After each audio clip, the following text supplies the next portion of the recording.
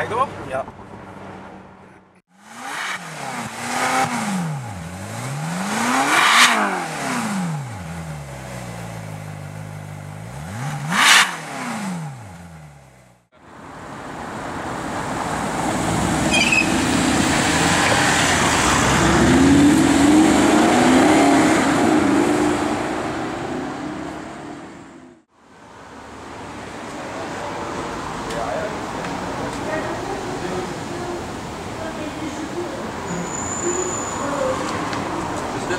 Dit wat? Kijk eens. Kijk even.